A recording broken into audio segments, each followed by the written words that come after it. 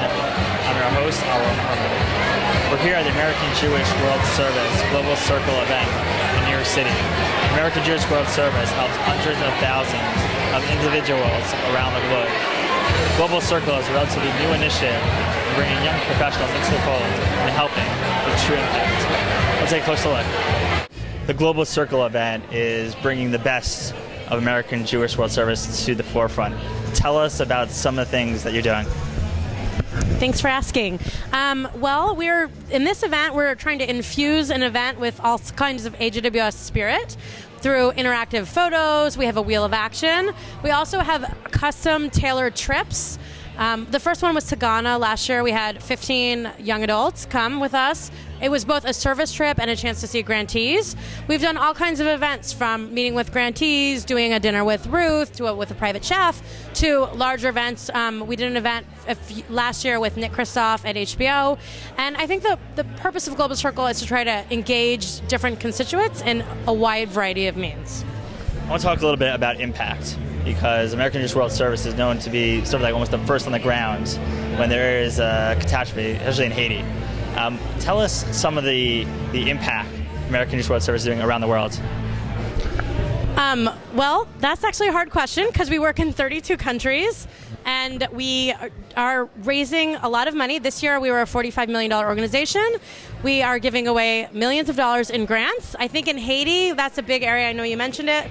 Um, President Obama in 2010 recognized AJWS's role in Haiti. I think that's one area.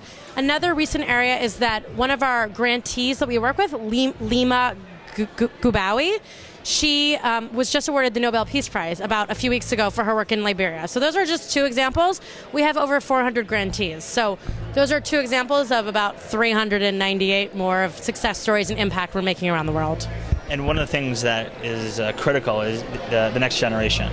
And this event showcases that next generation. How do you get the next generation involved?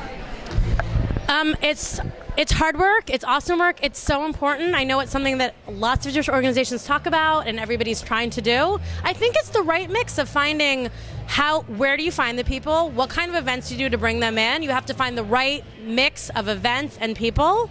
Um, I think it's about getting the right people in the room and bringing things that are actual content driven events that people want to go to. I think that we've succeeded. We've been around for about two and a half years. We've had over 30 events.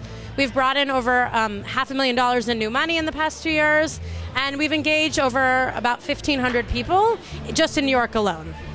And when you when you think of impact, even for like the, the younger generation, what do you think the younger generation is looking to do to, to create impact? Um, I think a lot of things. I think the younger the younger generation they care a lot about impact. They ask really hard questions about numbers, how we're funding, where their money is going to, which are all great questions and all things that AJWS takes very seriously. We are constantly striving to continue being an four-star charity and that's meeting and exceeding people's expectations. I also think young professionals are looking for a way to get involved that feels real and authentic. They're not just looking for like fancy cocktail parties. I mean, they want fancy cocktail parties, they want an opportunity to meet like minded people in an interesting way that is meeting other people, that is like learning about the world, and a way to feel involved that goes above and beyond just their job and what they do every day. A way to feel like connected to the world. You serve on the steering committee. And uh, one of the important parts about being involved in an organization is guiding the future. So tell us a little bit about why you got involved. Um, when I first found out about uh, the AJWS and the steering committee and Global Circle, I just attended an event that my friend invited me to, and I thought that their events were a little more involved than the traditional Jewish charity uh, in New York City. It also had a little different slant than most. Most have take up very Jewish causes, um, looking to help out and raise money for Jewish causes in the state of Israel. This one was a little different because it used Jewish principles to help those less fortunate in the developing world. And I like that idea. Um, I like that it was a little more involved, a little more cultural, um, and so I started going to events and I liked what I saw, and they asked me to join the steering committee. I'm very happy that I did. Hi, I'm Chloe Markowitz, and I got involved with AJWS because I feel that helping those in need, whether it's through advocacy, service, uh, or grant making, is critical, and it's really important that Jews uh, help others that extend beyond our community, our own Jewish community. Well, first of all, I of course want to thank Pamela and it was also horrible. And Emily for an amazing, amazing job that they did tonight. And of course, also, where are you, Jenny Goldstein and Katie Filson? Jenny Goldstein, where's your... I know you all probably get a million emails from both Katie and Jenny and myself, so good to know who everybody is. Um, anyways, uh, clearly they've done a lot of hard work for tonight. It's pretty amazing already, and this is just a small taste of what we have ahead of us for the rest of the night. Um, but really, most importantly, the most important people to thank are actually all of you because without you, there would be no benefit and there would be no global circle. So thank you so much for being here tonight. We realize everybody has very busy lives and it's disgusting weather, so thanks so much. Um, and thank you very much for continuing to be such generous supporters of all the work we do. This is AJWS's 36th year, but it's actually only the third year of Global Circle. And it's actually almost hard to believe when you consider our growth. Since we started in 2009, we've hosted over 30 events, including a night with photojournalist Ron Haviv, an exclusive meet and greet with New York Times journalist Nick Kristof, and theater performances where we were all able to have a special meet and greet with the cast of Fela. Additionally, this past summer, Global Circle had the opportunity to visit the White House to join the global conversation about social, social justice issues. A really big deal for Global Circle, and I think something that really speaks to um, recognition that Global Circle is getting now nationwide.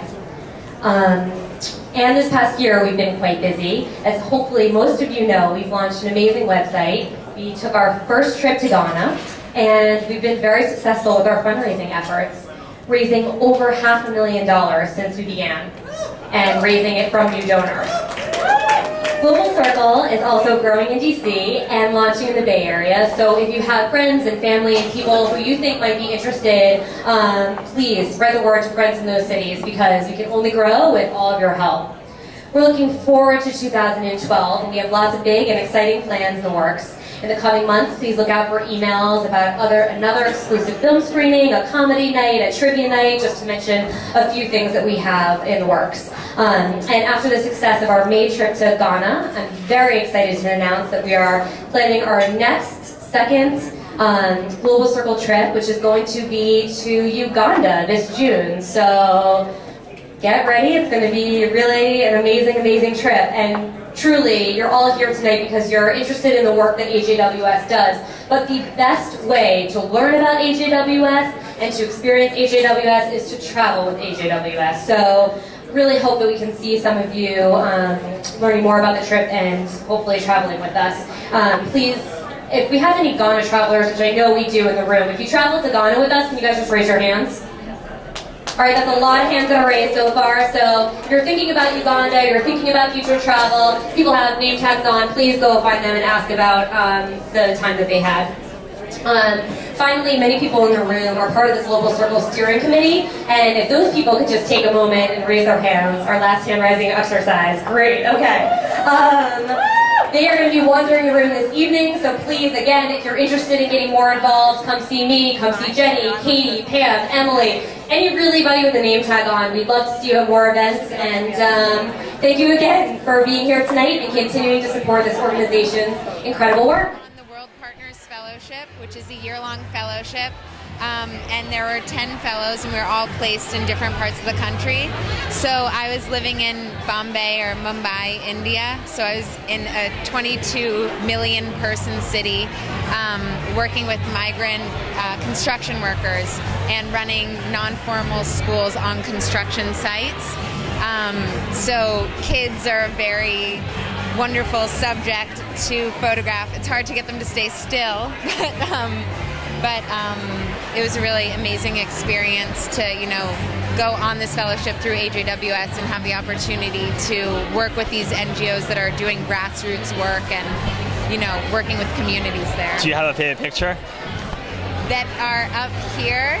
Um, I guess I would say maybe up here. This is from the um, the uh, creche, which is the daycare center. So it's birth to three years old, and um, they on the construction site. There's not a lot of space, safe space for kids to move around. So once they're actually in the classroom, they're able to move freely and dance. And so in this particular photograph, they're doing their daily dance train around um, around the creche, and they're all kind of grabbing onto each other's uniforms, and there are babies sleeping in the background, and everything is kind of happening all at once. The way that the artisans are paid in, in this area is not with cash because oftentimes when women are given cash, they're either expected to invest it in their homes or to give it to their husbands.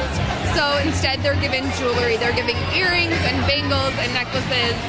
Um, and so, so throughout my time with this organization, I struggled a little bit in sort of finding my own voice as an artist, contributing my work to this or to the growth of this organization. Um, at the end of my experience, some of the women that I had been working with presented me with earrings. Um, which was really incredible for me because I had learned this whole time about how jewelry was a source of social capital for these women, and when they got jewelry, it it helped them gain respect. It was a source of social capital, um, and when they wore their jewelry, they felt pride for their for their art. Like that's you know people saw their jewelry, and that's how they ha- felt their pride for their jewelry. And when I received that that gift from them, I felt that pride myself. So that was a really incredible experience. Yeah. This event, there are some interactive experiences, and uh, we're here at the advocacy booth.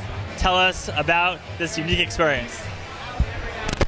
This is the advocacy campaign wing. We are inviting people to spin the wheel of action as part of our reverse hunger campaign. Reverse hunger campaign, we're looking at the United States Farm Bill up for reauthorization in 2012, and we're inviting everyone from around the Jewish community to mobilize and sign our petition for a just farm bill. We're working together with domestic Jewish social justice organizations to say to Congress, we want a bill that fosters that fosters uh, independency, that takes away systems of dependency that are invested that are part of our food aid system. So this wheel of action are a number of different ways you can get involved in advocacy, and we hope that you can come sign the petition. We're asking people to spin it to get One involved. the organizations that we met with uh, was called uh, WIPSEN. WIPSEN you might have heard of recently uh, in the news. Their founder just won the Nobel Peace Prize. WIPSEN promotes human rights and women's rights uh, and uh, helped bring about uh, peace in the war-torn Li- Liberia, one of AJWS's original grantees. We met People's Dialogue. People's Dialogue is an organization that works in Ghana's slums, trying to find a, a solution to poverty in some of the most um, dire of, of, of circumstances for people living in slums. We met with SEPER. SEPER is an organization in Ghana that is trying to promote and, and fight for human rights for the LGBTI community in Ghana. For those of you who don't know, uh, homosexuality is illegal in Ghana. Uh, like many African countries, their work is incredible and, and courageous. And lastly, we met with an organization called Challenging Heights. Uh, Challenging Heights was one of the most remarkable organizations we met with. Uh, founded by a former slave, uh, a, a former child slave, uh, and their work is uh, to prevent child forced labor and rescue children who are in slavery, um, give them an education, give them a sanctuary, uh, and, and give them a, dig- uh, a, dig- a dignified life. What was one of the most remarkable things about our trip, uh, besides hearing everyone's stories uh, and hearing their remarkable, um, uh, th- their their remarkable achievements and their nonprofits, was their gratitude and, and profound thanks for AJWS. Why? Uh, besides the money that AJWS gives, when AJWS takes a risk on a nonprofit in the developing world, it sends a message to other nonprofits. Uh, and most organizations that AJWS gives to or, or, or grants to uses the AJWS uh, brand and their name and their stature in the nonprofit world to to raise more to, to, to raise more money uh, and continue their cause. I want everyone here to keep in mind that the amount of money that we're raising here tonight is basically equivalent to one grantee. The average grant for AJWS is approximately fifteen to thirty thousand dollars. That amount of money is what sustains the work that all these nonprofits are doing and is what gives them hope. In my view, I believe that when you that when we stand with, with these people, when we tell them that we care, when we tell them that we'll fight for them for their human rights and their and, and their right and their dignity to have uh, basic basic human rights, uh, that's the best gift that we can ever give anyone. For those of you uh, who are interested in learning about more about AJWS experiencing the profound impact that their work has around the world, I would encourage you to learn, uh, to inquire about the trip to Uganda on June 7th of 2012. There's representatives by the raffle table that, um, that will give you more information. Having been uh, on a trip with AJWS, I can tell you that it's one of those experiences that doesn't come around very often. One of those opportunities to expand your horizons uh, and really see the world in a much different way. Lastly, uh, I'm sure most of you noticed that there are various stations around the room. I would encourage all of you who are unfamiliar with AJWS's work to stop by one of these stations, check out one of the iPads, listen to one of the one of the stories, and, and really understand why, why why you're all here tonight. So, lastly, thank you profoundly from all of us at AJWS for your support for being here tonight. Enjoy. As you can see, Global Circle for American Jewish World Service is helping young professionals connect and make true impact around the globe. This is Aaron Herman. Thanks for watching.